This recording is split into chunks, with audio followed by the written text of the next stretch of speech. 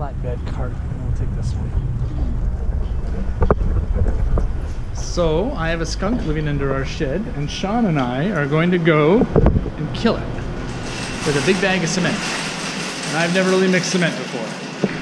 Have you mixed cement before, Sean? Uh-oh. Accident 901.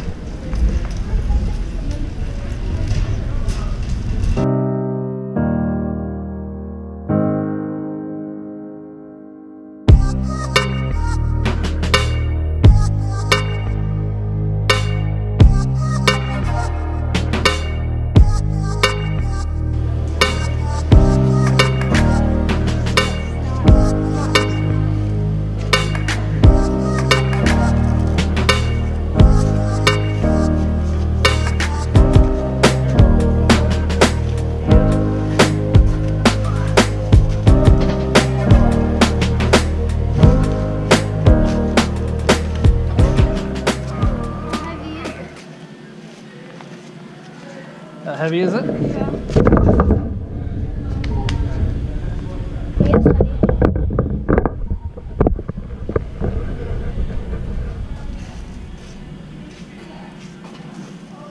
Five bucks for a bag. Build walks, flaws, footing, sittings for thickness of two inches or more. Okay.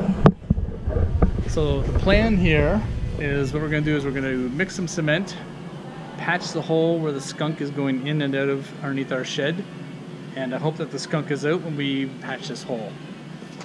Right? We keep the skunk down there. Maybe we'll make a skunk for a pet, because Sean loves skunks. No, we'll make it at the little graveyard. A little graveyard. Yeah. My son is cruel. So we have our concrete mix. Take this now, we're gonna put it inside a wheelbarrow. Do I need to add anything to this? I don't know, I've never made concrete before. What do the directions say? Says Posts, slabs, builder's tube. Well, I could use it for any of those, but I'm not. All right, I think that'll work. Watch it. Watch a YouTube video on how to do it. I'm gonna make a YouTube video on how to do it.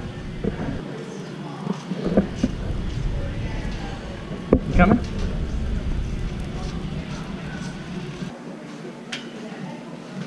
it's so hard to swim through. I know. Hang a left. In here. So here's my change, all nickels. And there's my receipt, all chewed up. Okay, you want to push it or want me to push it? I got it. Yeah.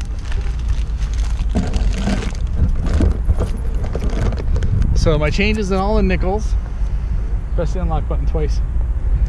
And the receipt was garbled up. And this is our Home Depot experience. Oh my god.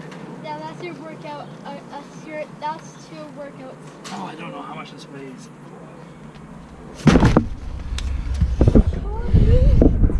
Now that's very heavy. Yeah, I'll move back. You gonna move the cart back? Yeah. Cart goes right in there.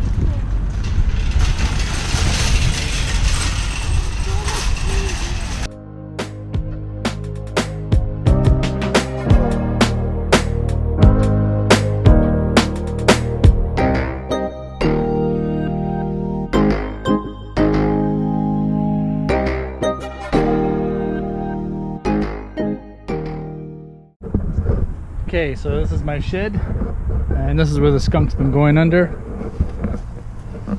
You see that hole right there? It even smells like skunk out here.